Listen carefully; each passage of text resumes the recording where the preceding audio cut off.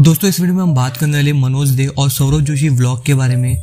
तो इन दोनों के बीच जो है एक मिसअंडरस्टैंडिंग की वजह से बहुत बड़ी कंट्रोवर्सी क्रिएट हो चुकी है।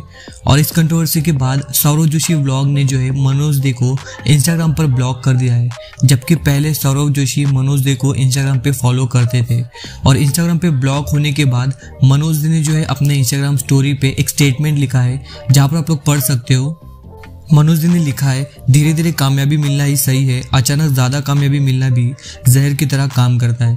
तो इस स्टेटमेंट को पढ़ने के बाद तो यही क्लियर होता है कि ये स्टेटमेंट सौरभ जोशी के लिए लिखा गया था, क्योंकि सौरभ जोशी के व्लॉग जो है, वो अचानक बहुत ज़्यादा वायरल होने लगे और अभी के टाइम पे सौरभ जोशी इंडिया के टॉप व्लॉगर में आते हैं। साथ ही उन्होंने एक सेकेंड स्टोरी डाली, जहाँ पर उन्होंने लिखा है, सच बात कड़वा ही लगता है हैश ट्रूथ तो इस कंट्रोवर्सी के पीछे क्या असली रीज़न है, क्या मनोज दे ने अपने व्यूवर्स को बढ़ाने, अपने सब्सक्राइबर बढ़ाने के लिए इस इस कंट्रोवर्सी को ज़बरदस्ती क्रिएट किया गया था। या जो है इसके पीछे क्या रीज़न है? सब कुछ आप लोगों को इस वीडियो में जानने मिलेगा तो आप लोग वीडियो एंड तक ज़रूर से देखते रहना। तो अगर आप मनोज दे को फॉलो करते हो तो आप लोगों को पता होगा कि मनोज दे अपने फैमिली के साथ डेली गया हुआ था, जहाँ पर उसने लक्ष्य चौधरी के साथ भी वीडियो बनाया है, यानी कि मीटअप किया है, और साथ ही जो है सौरभ जोशी के साथ भी उन्होंने मीटअप किया था वीडियो बनाए थे। तो यहाँ पर जो है मनोज दे ने अपने चैनल पर एक वीडियो अपलोड किया था finally I meet India's number one blogger Saurabh Joshi.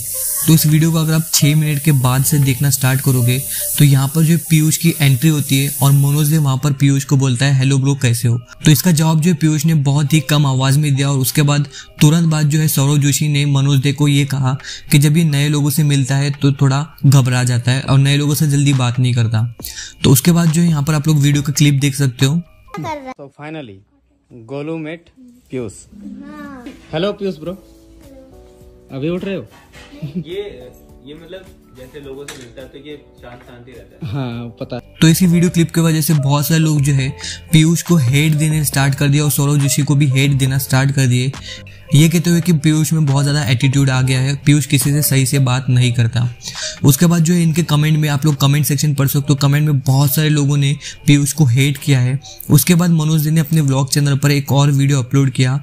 ये कहते हुए कि पीयूष घमंडी है। और उसमें जो है उसने गोलू को भी ऐड किया था। और आप लोग यहाँ पे ये क्लिप देख सकते हो। गोलू हम लोग पीयूष से मिलने गए थे। कैसा लगा हमको मिल के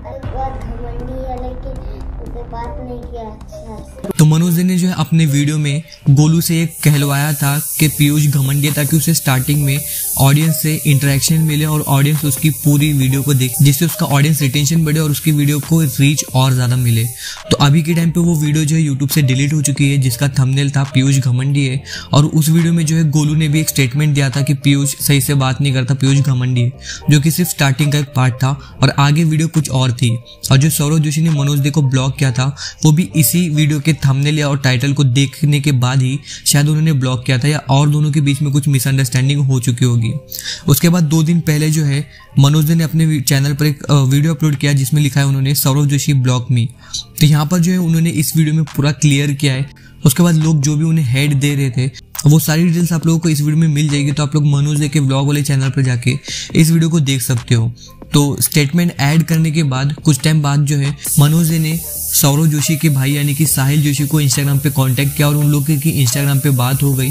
और साहिल जोशी ने जो है मनोज दे की बात सौरभ जोशी से भी कराई। ऐसा यहाँ पर जो है पता चल रहा है। तो ये न्यूज़ को जो है बहुत सारे लोगों ने कवर किया जैसे कि न्यूयन मैन न्यूज़ मैन इस वजह से ये वीडियो जो है और ज़्यादा वायरल हो रही है और सौरभ जोशी को और ज़्यादा हेट मिल रहा है पीयूष की वजह से। क्योंकि लोग कह रहे हैं कि पीयूष में बहुत ज़्यादा एटीट्यूड है। और आप लोग ये एक और क्लिप देखो। टाटा। फिर मिलेंगे। ठीक है सौरभ भाई। बाय बाय पीयूष बोलो बाय बोल दो पीयूष को। चलो ठीक जाइए आप लोग। बाय ठीक है साहिल भाई।